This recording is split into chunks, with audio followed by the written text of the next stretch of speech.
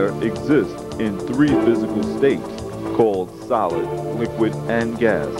The most important general properties of matter are its prominence, its ability to occupy space, and its inertia. Mass is the measure of how much matter there is in an object. Weight is the gravity pull state of rest or motion. It is measured by the mass of the body.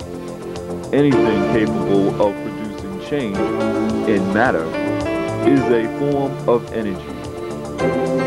Newton's law of inertia states that any body will continue to move in a straight line unless some other body interferes with it.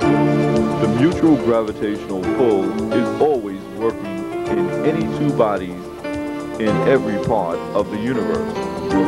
Newton's laws of gravitation were modified by Albert Einstein's theory of relativity, which means that all motion must be defined relative to a frame of reference and that space and time are relative rather than absolute concepts.